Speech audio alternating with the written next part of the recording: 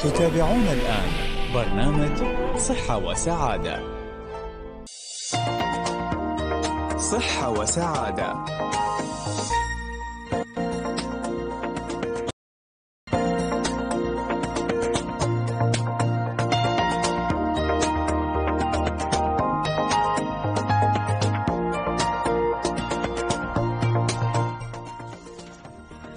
مستمعينا الأعزاء صبحكم الله بالنور والسرور والعافية ودائما نصبح عليكم بروح التفاؤل والطاقة الإيجابية. نرحب بكم مستمعينا الأعزاء في برنامجكم الإذاعي اليومي صحة وسعادة تقدمه لكم هيئة الصحة في دبي. بالتعاون مع مؤسسة دبي للإعلام وعبر أثير إذاعتكم المتألقة دائما إذاعة نور دبي. أرحب بفريق العمل في الإعداد. عندنا فريق هيئة الصحة في دبي وعندنا في التنسيق والمتابعة الأستاذة ميرا الخفلي ومخرجنا المبدع اليوم معانا الأستاذ وائل. ويسعدني أني يشاركني اليوم في التقديم معاي زميلتي آمنة العلي. صباح الخير آمنة أهلا صباح النور دكتورة.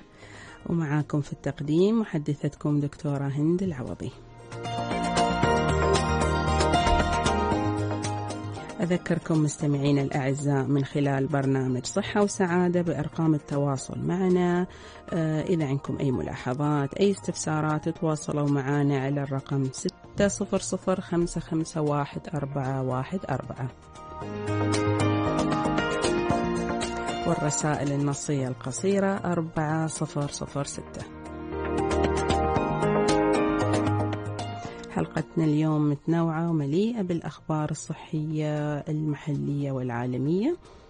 وقبل ما نبدأ مستمعينا حلقتنا حابة أوجه صباح الخير للوالدة اليوم لأول مرة تتابعني على الإذاعة فأقول لها صباح الخير أمي العزيزة. ومستمعينا أذكركم ب أهم ثلاث طرق لحمايتكم من كوفيد 19 اللي أنا دوم أسميه بالمثلث الذهبي اللي هو ما أدري آمنة إذا أنت بتذكرينهم. بشوف حفظتي الدرس ولا بعدش الدكتورة هذا اختبار الحين. آه طبعا دكتورة دائما تذكرنا بالمثلث آه الذهبي اللي يقول إن دائما كونوا حريصين اولا على ترك مسافة آمنة بينكم وبين الآخرين. طبعا لا تنسون لبس الكمامة دائما والنقطة الثالثة أن غسل اليدين بشكل مستمر ولمدة لا تقل عن 20 ثانية. صحيح أمنة. هذا الثلاث الطرق الرئيسية هي هي أهم ثلاث طرق عشان نحمي نفسنا ضد كوفيد 19 حلقتنا اليوم بتكون متنوعة راح نتحدث عن آخر الأخبار العالمية والدراسات العالمية. بتكون معانا اليوم اسم الجناح بتعطينا آخر مستجدات وسائل التواصل الاجتماعي. في فقرة خدمات الهيئة راح يكون معانا قسم طب العيون في مستشفى دبي. وبعدين راح نتطرق للعلاج الطبيعي بعد الولادة. ونختم حلقتنا اليوم بأنماط الحياة الصحية في الإجازة الشتوية هذه. وناخذ خبرنا الأول اليوم واللي هو؟ طبعا خبرنا اليوم دكتورة عن الحديد والزنك لعلاج تساقط الشعر طبعا كل الناس يبحثون دائما دكتورة عن يعني طرق لعلاج تساقط الشعر. وطبعا يشير الخبراء بالصحة بأن معظم مشكلات تساقط الشعر قد تكون بسبب نقص في عدد من الفيتامينات والمعادن المهمة. ويقول الخبراء أن لعلاج تساقط الشعر فمن الأفضل التركيز على جذور المشكلة حيث أن أشاروا إلى أن بعض الفيتامينات والمعادن تعد بالفعل جزء لا يتجزأ من نمو الخلايا الطبيعي وتعزيز وظائفها.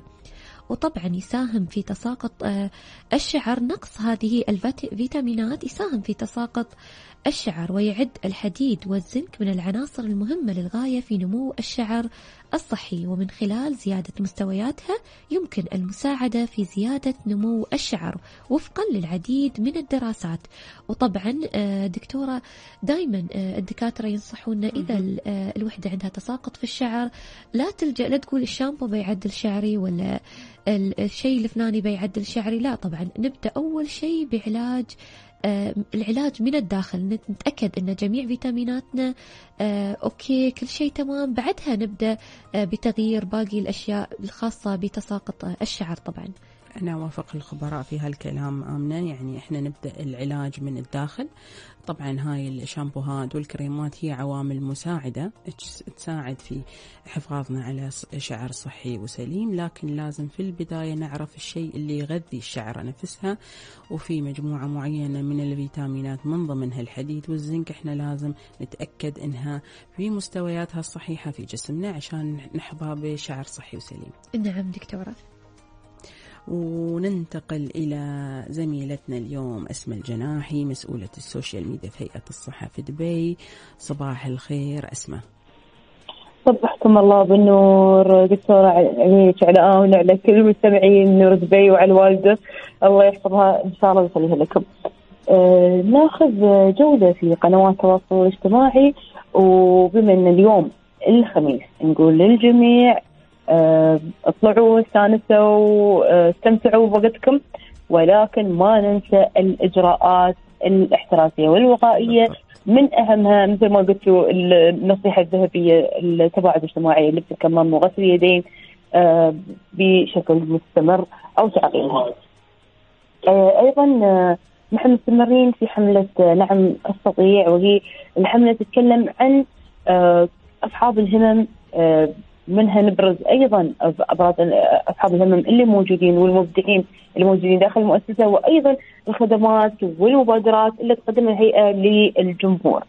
آه، أيضا من ضمن الأشياء اللي آه، كان نشرها وكان عليها تفاعل جميل كيفية التعامل مع الكمامة القماشية وكيفية يمكن غسل الكمامة القماشية.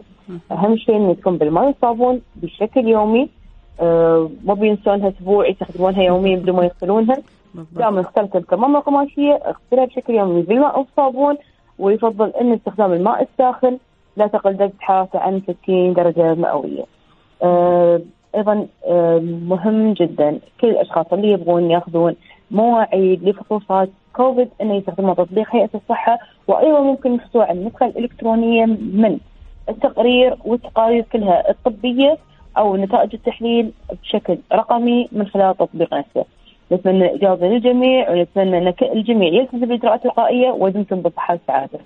ودمت بصحة وسعادة أسماء شكرا على المستجدات اللي أعطيتينا إياها آه مثل ما قالت أسماء الكمامات القماشية آمنة آه الكثير يتحرى أنه خلاص أنا لابسنها بتم ألبسها يومين وثلاث وأربع لا هو المفروض إنك أنت تغسلينها بعد استعمالها بدرجة حرارة ماء تكون شوية عالية 60 درجة يعني يعني نعتبر الماء الدافئ.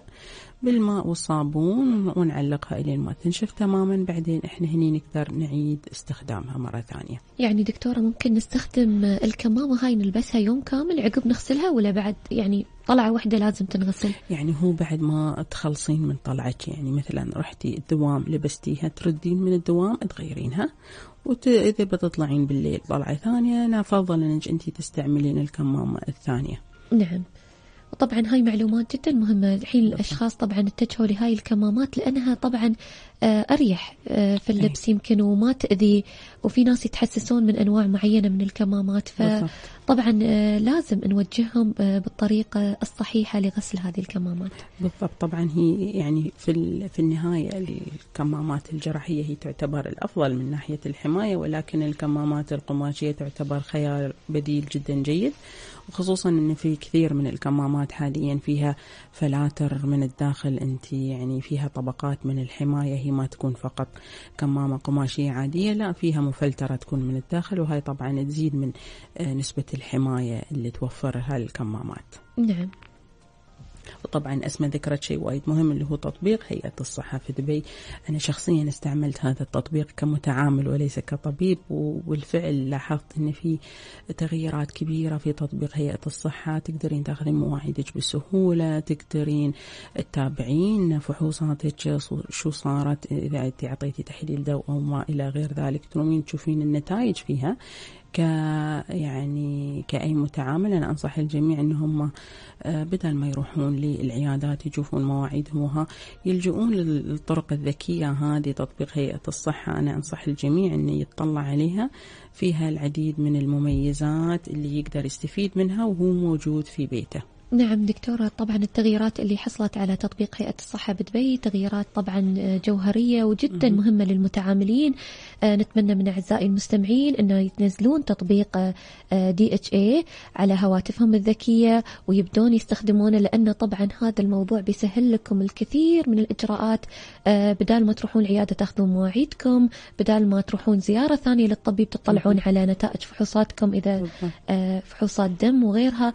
فنتمنى إنكم تنزلون التطبيق وتبدأون باستخدامه لأن الصراحة بيعود عليكم بالفائدة الكثيرة طبعا. بالضبط بالضبط آمنة. يعني حتى من ناحية المواعيد بدل ما تتصلون وتنتظرون الرد على اتصالاتكم إحنا نقول إن استعملوا التطبيق هو يعني أسهل واختصارا للوقت أكثر.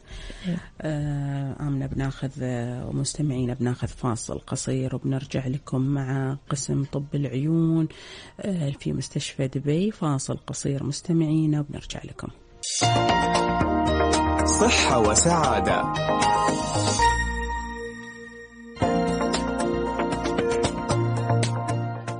مستمعينا الأعزاء رجعنا لكم في برنامجنا صحة وسعادة. تقدمه لكم هيئة الصحة في دبي بالتعاون مع مؤسسة دبي للإعلام. وعبر أثير إذاعتكم إذاعة نور دبي. مستمعينا أرجع أذكركم بأرقام التواصل. معنا ستة صفر صفر خمسة خمسة واحد أربعة واحد أربعة أو عبر الرسائل النصية القصيرة أربعة صفر صفر ستة. مستمعينا آه، تعمل هيئة الصحة في دبي وبشكل متواصل على تحديث وتطوير أقسام منشآتها الطبية. في مختلف وجميع التخصصات وتستهدف تقديم أفضل الخدمات للمجتمع وأفراده. ومن بين هاي الأقسام اللي تحظى باهتمام الهيئة قسم طب العيون في مستشفى دبي آه يعني يحظى باهتمام كبير من الهيئة. وعشان نتعرف على هذا القسم وشو إمكانياته وشو خدماته يسعدني ويشرفني يكون معانا عبر الهاتف اليوم الدكتور حسام سليم الحصيد استشاري جراحة أمراض الشبكية في مستشفى دبي. صباح الخير دكتور. صباح النور أهلا فيكي بشرفني أكون معاكم اليوم على برنامج آه، صحة وسعادة إن شاء الله نقدر نقدم نبذة عن قسم العيون في مشفى دبي.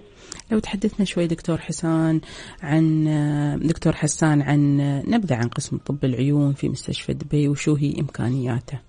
هلا قسم العيون مشفى دبي هو قسم متكامل بيشمل جميع التخصصات الفرعية الموجودة في طب العيون بيغطيها بأحدث طرق التشخيص آه، والعلاج سواء بال آه، بالمعالجة بالمحافظه مثلا أو من خلال الأدوية أو من خلال حتى العمل الجراحي من خلال وجود أحدث الأجهزة اللي بتوصلها العلم وخاصة طب العيون كل يعني كل كل كل كل عام عم يكون في تقدم بمجال العلاج وبالأدوات ومشفى دبي والهيئه الصحة عم بتجهز المشفى بأحدث الأجهزة الموجودة حاليا على على الساحة الدولية.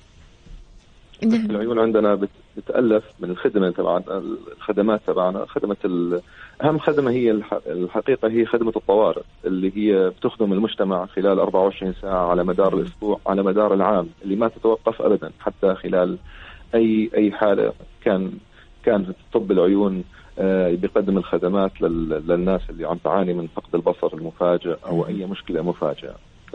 بشكل عام القسم منظم عندنا مقسم إلى عيادات حسب الأمراض آه، مقسم لأقسام مثل عيادة أمراض الأجفان ومجرى الدمع والحاجات وجراحتها. آه، في عندنا عيادة مهتمة بقسم الجراحة الانكسارية اللي هي من خلالها بيتم تصحيح البصر بالليزر اللي هي معترف عليها عند العوام بجراحه الليزك. معالجة أيضا يتم معالجة القرنية المخروطية اللي هي منتشرة في المنطقة العربية من خلال تشخيصها بالأدوات الحديثة ومعالجتها بالتثبيت أيضا. آه، عندنا آه، في المشفى يوجد أيضا عيادة أمراض القرنية تعالج أمراض اللي تصيب القرنية ويتم كذلك زراعة القرنية كامل السماكة أو جزء السماكة اللي تعتبر حلول كثير كثير من المرضى اللي يعانوا من نقص القدرة بسبب أمراض القرنية. يوجد أيضا عيادة المياه البيضاء أو ما يسمى الساد أو الكترك التي تسبب السبب الأول لانخفاض القدره البصريه مع تقدم بالعمر يتم استخراجها ووضع العدسة من خلال من خلال أجهزة حديثة. آه، علاج آه، أيضا تشمل العيات المياه الزرقاء اللي هي تسبب ارتفاع ضغط العين آه، وتعالج بالأدوية وأيضا بالليزر.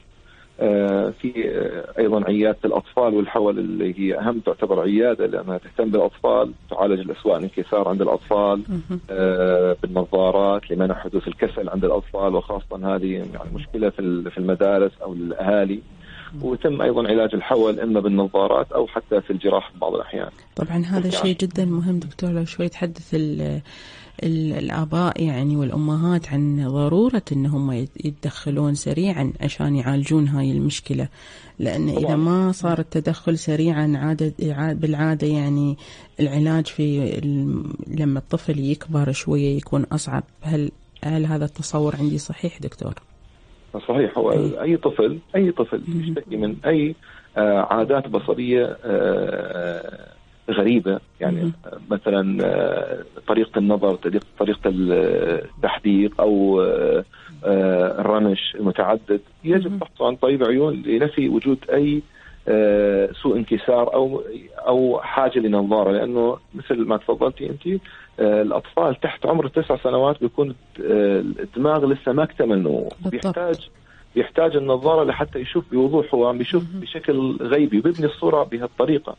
فمراجعة الأهالي وفحصهم للطفل ومحافظه على المتابعة لحتى الطفل يتجاوز العمر هذا بيكون هم آه، حفظوا له بصره للمستقبل لأنه بعد التسع سنوات صعب إنه يرجع اللي إذا الطفل صار عنده كسل وظيفي بنسميه أو بالضبط.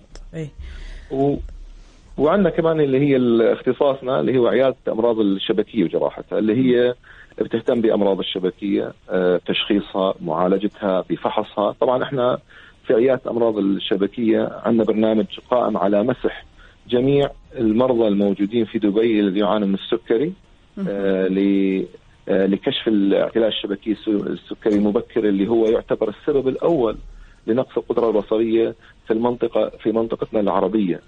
آه، يتم من خلاله فحص الكشف المبكر مراجعة الصور من خلال المشفى وتحديد درجة المرض وإعطاء المريض الموعد المناسب السريع إذا كان في حاجة حالة حاجة لدخول المشفى. وكمان آه، في تعاون بيننا وبين الأقسام الأخرى مثل عيادة السكري عيادة أمراض الروماتيزم آه، آه، مثلا الحوامل اللي بيأخذوا أدوية أو بيأخذوا مثلا عندهم سكري.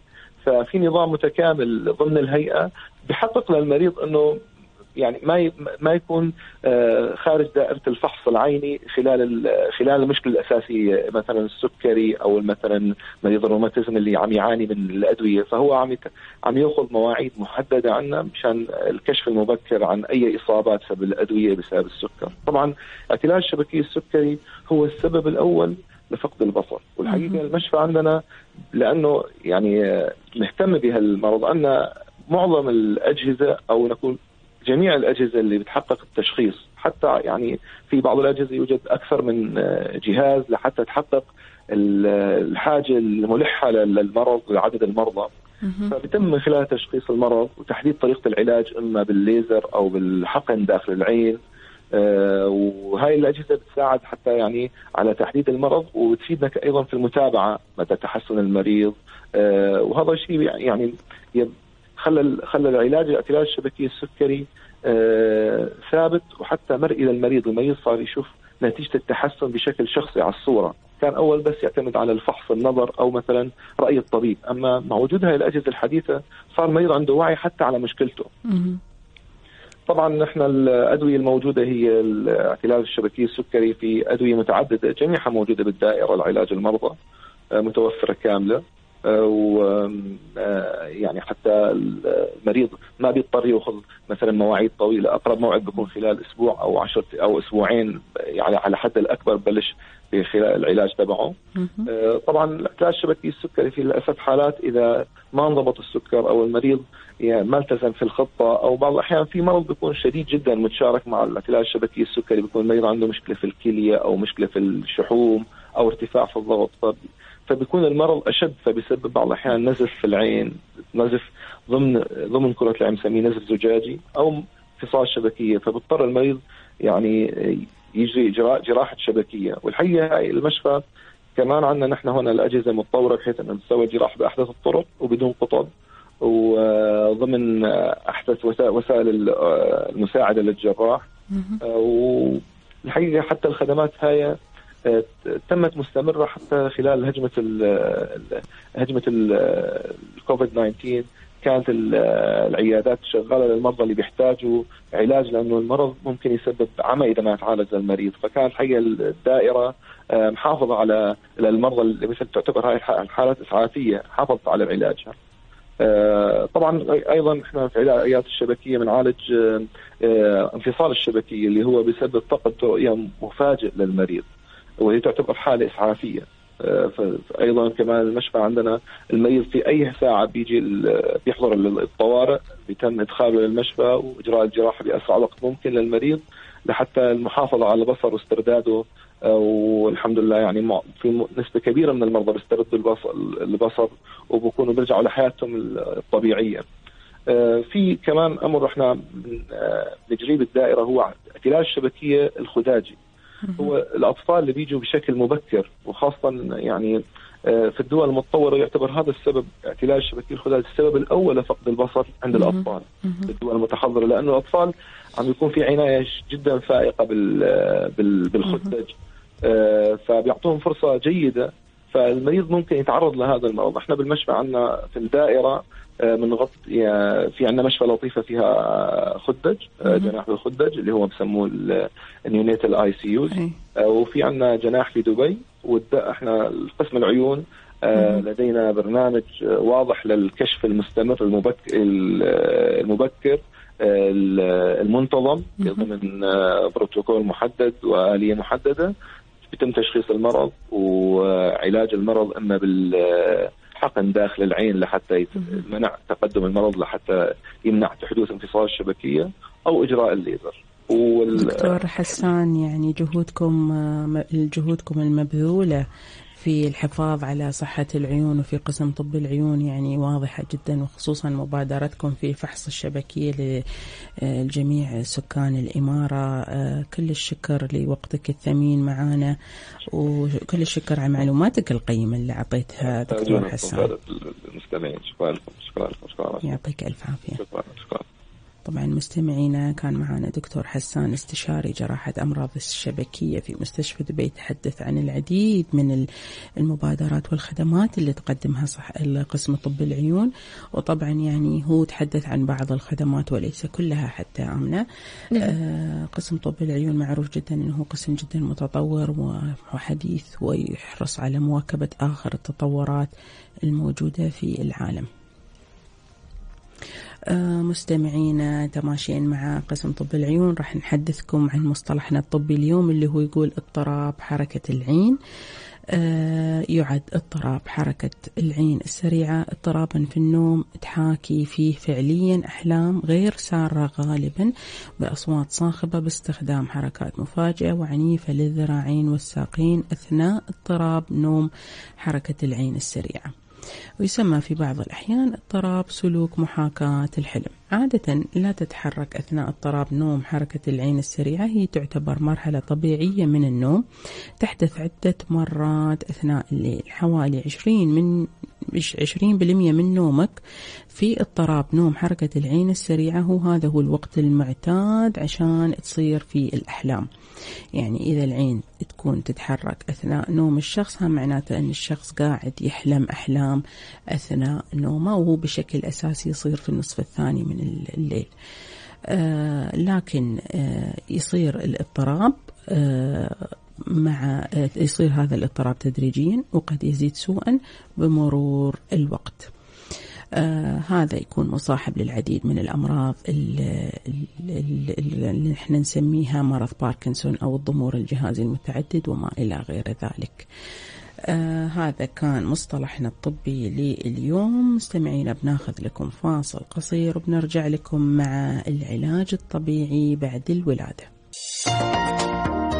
صحة وسعادة.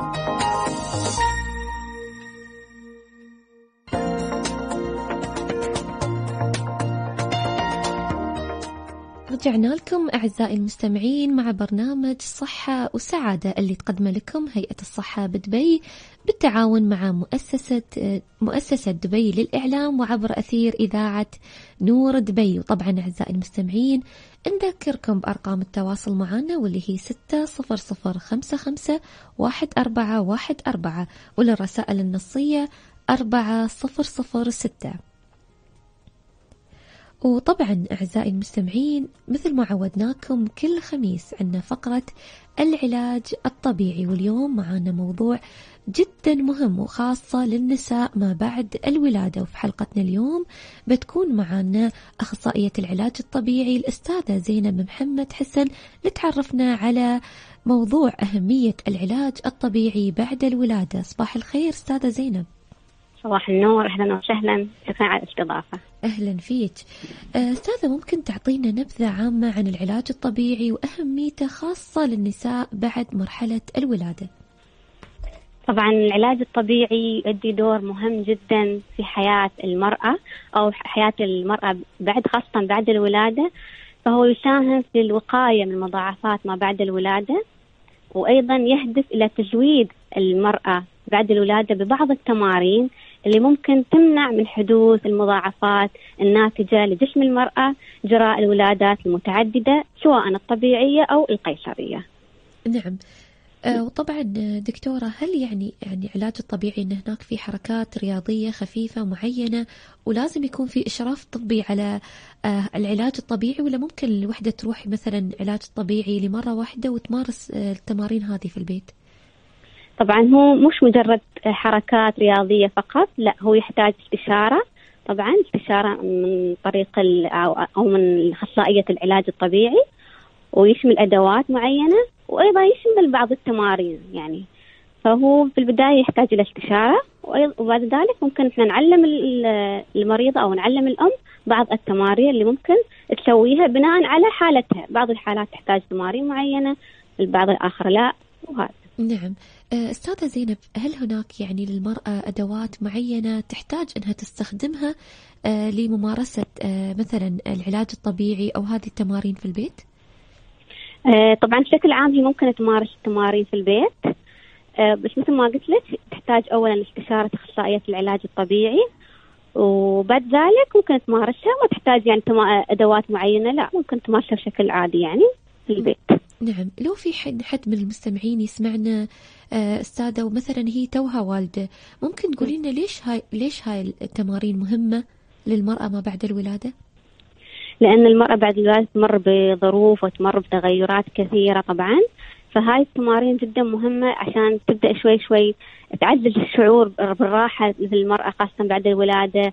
بعض التمارين ممكن تساعد على استطالة المدى الحركي للمفاصل مرن العضلات تقي من مضاعفات ما بعد الولادة تقي من طبعا أو تقوي عضلات الحوض لأنه تضعف في عضلات الحوض بعد الولادة. وهذا. طيب تخبرينا شوي أستاذة عن نوعية الخدمات اللي تقدمها هيئة الصحة من هذا الجانب. طبعا الحمد لله في مستشفى لطيفة للنساء والولادة في قسم إعادة التأهيل. العلاج الطبيعي نقدم خدمات تخص صحة المرأة خصوصا بعد الولادة والعمليات. العمل الخدمات تشمل تقوية عضلات الحوض تقوية عضلات البطن علاج حالات السلس البولي والإلحاحي وإعادة تأهيل الحالات المتعلقة بأمراض المستقيم. وأيضا نقدم تمارين للنساء قبل الولادة اللي هو خلال الحمل وأيضا بعد الولادة ونعالج الآلام المتعلقة بالحمل وما بعد الولادة. جميل جدا. هل هاي الخدمات أستاذة تقدمونها للتربي طبيعي وقيصرية ولا فقط للطبيعي الولادة الطبيعية؟ الطبيعي والقيصرية. الطبيعي والقيصرية. طيب أستاذة هل في هناك إقبال على هاي الخدمات اللي توفرها هيئة الصحة؟ الحمد لله نعم في إقبال ولكن آه يعني نحتاج إلى المزيد من التوعيه، يعني المجتمع بحاجة إلى توعية أكبر، النساء بحاجة إلى توعية أكثر بخصوص صحة المراه بعد الولادة. فلازم نحن نحتاج يعني من من منبركم طبعا نحاول ننشر الوعي للنساء بعد الولادة إنه يجب أن يهتمون بصحتهم خصوصا عضلات قاع الحوض يعني خاصه بعد الولادات المتعددة يصير ضعف في عضلات قاع الحوض وتبدأ تطلع المضاعفات والمشاكل مثل السلس البولي ومشاكل هبوط أعضاء الحوض وغيرها. نعم. وطبعا أستاذة هيئة الصحة في دبي كانت تقدم في فترة الحمل أيضا آه، تمارين للمرأة الحامل. كان هناك خدمات جدا مميزة. هل هذه الخدمات في فترة كوفيد توقفت أو إنها ما زالت آه، مستمرة مع إجراءات احترازية معينة؟ لا هي ما توقفت بس هناك إجراءات احترازية. يعني قبل كنا يكون التمرين جماعي. الحين حاليا ناخذ يعني مريضة مريضة تكون بكل مريضة لحالها يعني. نعم ممكن تحدثينا أكثر عن هذا الجانب آه، جانب آه، التمارين آه، التمارين للمرأة الحامل؟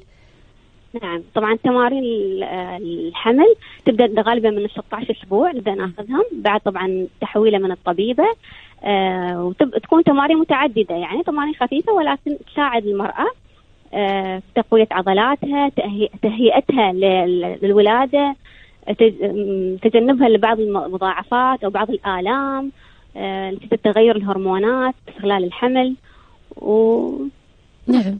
وطبعا أستاذة زينب نبغى منك نصيحة أخيرة. مثل ما قلتي لنا تو نصحتي الجميع بأن أهمية العلاج الطبيعي بعد الولادة وأهمية تقوية عضلات آه، الحوض عشان نتجنب مشاكل مستقبلية ممكن تحصل للمرأة. وأيضا ممكن تقدمي لهم نصيحة أخرى أستاذة؟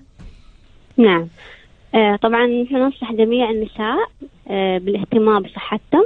خلال الحمل وأيضا بعد الولادة دائما نشجع على ممارسة التمارين البسيطة والاهتمام بعضلات قاع الحوض ويعني واستشارة الاخصائيات العلاج الطبيعي. وممكن يجون للتمارين نعلمهم بعض التمارين عشان يتجنبون المضاعفات يعني اللي تصير خاصة في عضلات قاع الحوض. فنحن نشجعهم بالاهتمام بالتمارين يعني. نعم طبعا نحن نضم صوتنا لصوتك أستاذة زينب ونشجع جميع النساء على ممارسة التمارين الرياضية أثناء الحمل وبعد الولادة. ومثل ما نقول دائما نخصص وقت طبعا لهذه التمارين. طبعا شاكرين لك أستاذة زينب محمد ممارس علاج طبيعي في هيئة الصحة بدبي هاي المعلومات القيمة وطبعا الجهود اللي تبذلونها. شكرا لك. شكرا لكم. شكرا ما قصرتم. شكرا. طبعا أمن الكثير من النساء بعد الولادة ينسون نفسهم ويركزون على الطفل الموجود معاهم. آه نعرف كثير من الأمهات يمكن أنت بعد من ياسة أشرين على نفسك فحتى أنت من ضمنهم. فأنا يعني أقول أن جزء من اهتمامك بطفلك هو أنك أنت تهتمين في نفسك وفي صحتك. إذا نعم. ما كانت الأم سليمة جسديا ونفسيا وصحيا فهي معناتها ما راح تقدم أفضل الرعاية لأطفالها. طبعا أنا دكتورة بديت آه، طبعا أنا لأني طبعا تأخرت في موضوع العلاج الطبيعي طبعا أعترف بهالشيء.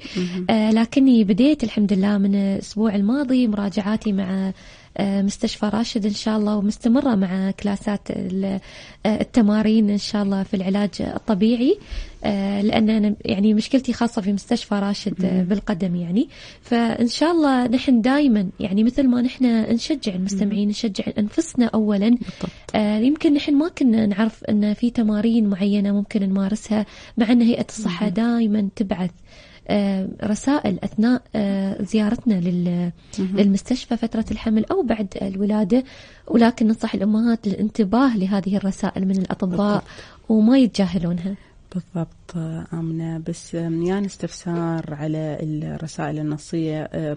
في استفسار عن الحول عند الأطفال فأنا آه، أوجه الأخت أنها تاخذ موعد عند دكتور حسان. دكتور حسان موجود في مستشفى دبي تقدر تستعمل تطبيق هيئة الصحة وتاخذ موعد مع آه، الدكتور عشان يقيم حالة طفلها ويشوف شو من آه، نوع الحول اللي عنده وشو هو التدخل اللي يحتاجه الطفل.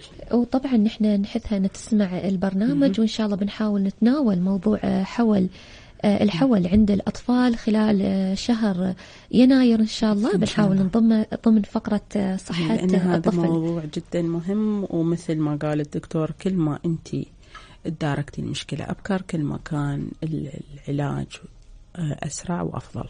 طبعا. آه، والحين دكتورة ننتقل لتخصصك وفقرة آه، اللي تحبين دائما تختمين فيها يوم الخميس واللي هي فقرة الصحة. العامة. الصحة العامة. إحنا حين مع بداية إجازة الفصل الدراسي الأول. أولياء الأمور يحتاجون أنهم يستثمرون هاي الإجازة في تنمية وعي أبنائهم بقيمة وأهمية الأنماط الحياتية السليمة. موضوعنا اليوم بيكون عن هذا الشيء من ناحية الغذاء والنشاط وأمور حياتية أخرى. يسعدني يشرفني أن آه، يكون معنا اليوم عبر الهاتف زميلتنا الدكتورة ليلى سليمان أخصائي التثقيف التوظيف الصحي في هيئة الصحة في دبي. صباح الخير دكتورة. صباح الخير خواتي حياكم الله. دكتورة لو شوي تحدثينا إحنا دائما نقول أنماط حياتية سليمة. إحنا شو نقصد بالأنماط الحياتية السليمة؟ لو تشرحي للمستمعين هذا المصطلح شو يعني؟ أشكر لكم الاستضافة ونبدأ بأن نقول أن الكثير يعتقدون أن معنى أنماط الحياة الصحية السليمة فقط الغذاء المتوازن أو الوصول للوزن المثالي. نعم. طبعا هذا كله يتعلق دكتورة بس عفوا عندك في يعني في صوت إذا ممكن تعلين صوتك أو إذا لابسة السماعة تشلينها حسب نسمعك عدل؟ تمام. يمكن الحين أحسن؟ أه شوي أحسن في يعني في تشويش في صوتك. آه والله مو دقيقة. نعم دكتورة هند دكتورة طبعا كانت بتبدأ في أنماط آه، الحياة آه، الأنماط الحياتية السليمة ولكن عندها طبعا خلل آه، في الصوت ننتظرها. دكتورة ليلى رجعتي معنا كيف الصوت يمكن أحسن؟ طبعا جدا واضح الحين ممتاز. طبعا مثل ما قلت يعتقد البعض أن أنماط الحياة الصحية السليمة يقتصر على الغذاء المتوازن أو الوصول للوزن المثالي وهذا يختص بالصحة البدنية. بس طبعا لازم ما نهمل الصحة النفسية والتوازن بين الاثنين هو اللي يؤدي إلى حياة صحية ومتوازنة. نعم. آه، دكتورة كيف نعود أبنائنا على الأنماط الحياتية السليمة مثل ما قلتي؟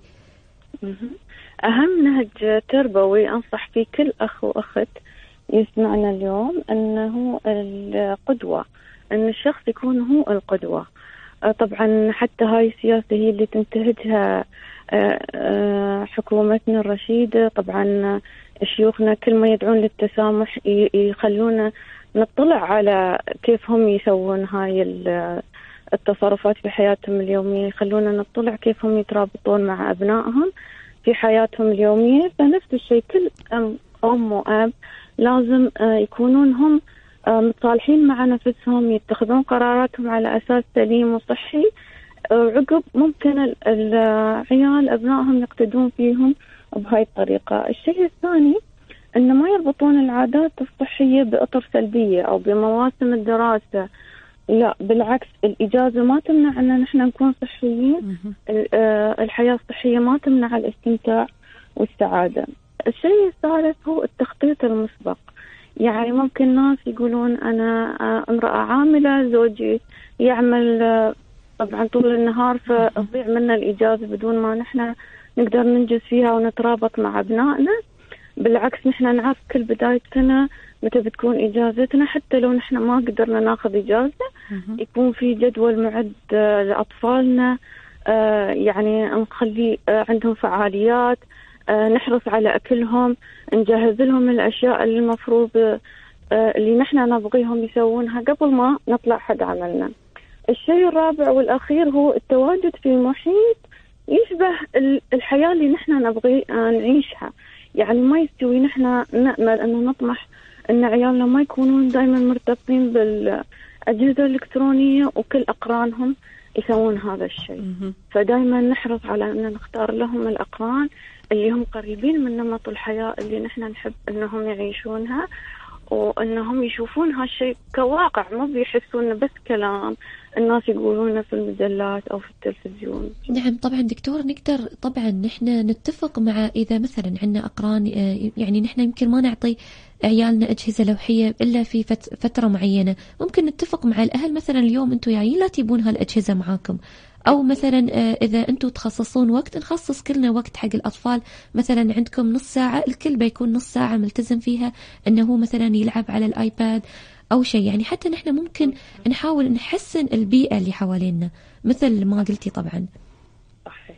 وبعدين العيال في آه، الجيل الحالي يعني ما ما يستجيبون للأوامر. بالضبط. فأي تغيير أنتم تحبون أن عيالكم يتأقلمون عليه لازم يكون باتفاق بيننا وبينهم. لازم نحن. نخبرهم ليش هذا الشيء بين حقهم. وطبعا أكيد إذا هم شافوا الأم والأبو ملتزمين وواعين أكيد أكيد العيال بيلتزمون. نعم. دكتورة بمناسبة الإجازة المدرسية طبعا وكل حد بيطلع من البيت آه، كيف نعرف أن الأنماط السليم يعني هاي الأنماط السليمة كيف نتأكد أنها بتتم نفس ما هي نفس الأنماط اللي كنا عايشين عليها آه، الفترة الماضية؟ طبعا آه، لا يخلو الحديث عن الصحة في هذه السنة من الحديث عن كوفيد آه، 19 آه، وبعد أن الكثير ما التزم لفترة طويلة بقوانين تقييد الحركة والجهود اللي سووها ال- العائلات كلهم في الفصل الدراسي الأول. ما بيقدر كثير من الآباء والأمهات أكيد بيرضون أن أطفالهم يخرجون يتنزهون بيأخذون هذا القرار طبعا. فلازم كل ولي أمر يوفر لل... كمامات قفازات معقمات الأيدي والأسطح. آه، لازم تكون في متناول أطفال أطفالنا يوم بيطلعون لأن ممكن يحتاجون يستخدمونها ولازم تكون متوفرة. طبعا نوعيهم إيه. دائما على أرتداء الكمامة لأن هي ال- المنجا لهم وقا- لوقايتهم من الإصابة بكوفيد آه، 19 من مصابين قد لا تكون عليهم أي أعراض. آه، طبعا أي أي أسطح في أماكن عامة أو أي أدوات يستخدمونها نوعيهم أنه لازم تتنظف قبل ما يلمسونها. وننصح الأهالي أن يختارون وجهات مفتوحة أو فيها تهوية جيدة. آه، بدل ما يروحون أماكن مغلقة أو مرافق معروف أنها فيها زوار كثير أو ازدحام. وطبعا لازم نلقن أبنائنا وخاصة الصغار. شو هي المسافة الآمنة؟ طبعا يوم تقولين واحد ونص أو اثنين يعني هو صعب شوي على الطفل أنه يستوعب. نقول له أنه هاي المسافة هي آه، طول إيدك مرتين. إيدك الممدودة مرتين ونساعدهم ان يتخيلون هالشيء طبعا الأطفال عندهم مخيلة نحن نقدر نستغلها فيما ينفعهم ونتدرب معاهم على شكل لعب لعبة أو آه، قبل ما نطلع من البيت نخليهم يتدربون على أبقاء هذه المسافة. دكتورة. ليلى لو تعطينا نصائح أخيرة لتعزيز الصحة العامة لأبنائنا خلال فترة الإجازة هذه؟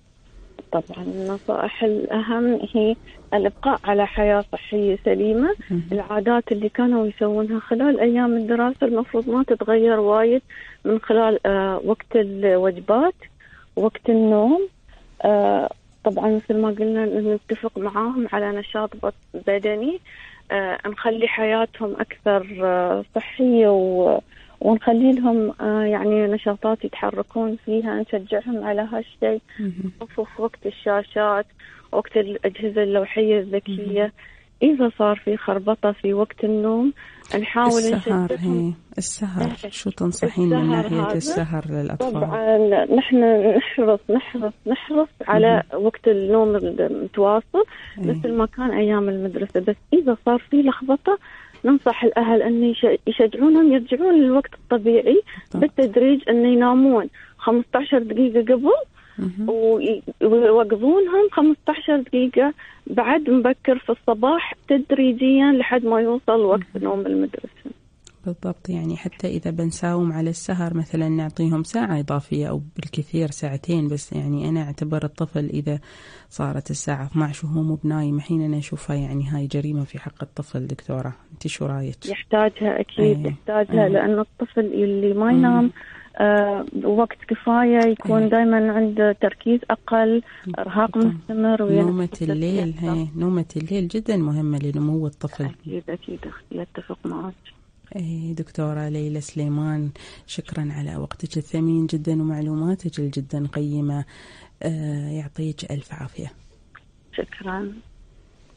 كانت طبعا معنا دكتورة ليلى سليمان أخصائي التثقيف الصحي في هيئة الصحة في دبي تحدثت عن الأطفال وأبنائنا وفي الإجازة الشتوية هذه آمنة وتحدثت عن العديد من النقاط الأساسية من ضمنها الغذاء الصحي صحتهم النفسية حتى السهر آمنة. أنا لاحظت العديد من الأطفال يسهرون إلين الفير. يعني أنا أنا أنا من أشد المعارضين في هذه النقطة. الطفل يحتاج النوم خصوصا النوم بالليل لأن في خلال الليل هذا تنتج تنتج الجسم ينتج هرمونات معينة فقط في الفترة الليلية. وهذه الهرمونات يحتاجها الطفل عشان ينمو يكبر ويعني ويحافظ على جسد سليم وصحي. لازم هو ينام فترة معينة في الليل. نعم ومثل ما ذكرت الدكتورة طبعا أن نحن القدوة هي قالت أول شيء على أن الوالدين يكونون هم القدوة. إذا الأطفال يعني آه مثلا أولياء أمورهم ما كانوا قدوة لهم آه في التخطيط المسبق قدوة لهم في آه ساعات النوم. طبعا الطفل بيكون مشتت يعني ليش أنا أنام وأهلي ما ينامون مثلا؟ فنحن دائما نقول كونوا أنتم القدوة كونوا أنتم المبادرين في هذا الموضوع. طبعا تحدثت عن الأجهزة الإلكترونية وأكيد في الإجازة راح يكثرون من استخدامها. فأنا شفت شيء جدا مميز في بعض المواقع في نظارات خاصة بحماية العين من أضرار الأشعة اللي تصدر من هاي الأجهزة الإلكترونية. أنا أنصح الأهالي أن يقرون زيادة عنها ويطلعون عليها أكثر. أنا أشوف أن في منها فائدة خصوصا يعني إذا أنت من النوع اللي حتى لنا إحنا كأشخاص عاديين هذه ممكن تحمي عيننا من أضرارها. نعم. ومستمعينا في ختام حلقتنا اليوم أتمنى أنكم استفدتوا واستمتعتوا وأتمنى أن قدرنا نفيدكم ولو بالقليل من المعلومات اللي قدمناها لكم. أذكركم لا تنسون ترتدون كماماتكم بالطريقة الصحيحة. أشكر لكم حسن متابعتكم أشكر فريق الإعداد في هيئة الصحة في دبي كل الشكر لإذاعة نور دبي كل الشكر لميرا الغفوضي في الإعداد في التنسيق وطبعا مخرجنا وائل قواسمة كل الشكر له. وطبعا آمنة زميلتي وشريكتي في التقديم كل الشكر لك آمنة. شكرا لك دكتورة ونتمنى للمستمعين الصحة والسعادة. وأنا معكم محدثتكم دكتورة هند العوضي وأقول لكم دمتم في صحة وسعادة ومع السلامة.